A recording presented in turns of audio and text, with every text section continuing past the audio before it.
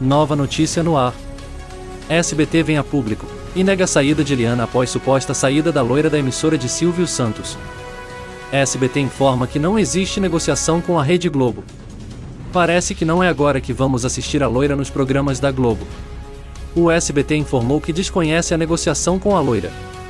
Após os boatos que rondam por aí que a loira estaria certa que iria para a Rede Globo. A assessoria do SBT veio a público e afirmou que a Eliana não está indo embora da emissora. Segundo as informações, a empresa que pertence ao Silvio Santos afirmou que a loira tem um contrato com a própria empresa.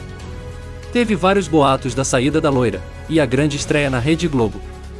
Um dos boatos que mais chamou a atenção dos internautas foi que a loira teria uma despedida marcada em novembro, durante a transmissão do Teleton. Bom, acho que não vai ser tão cedo que vamos assistir a loira na Rede Globo. Você gostaria que isso acontecesse um dia?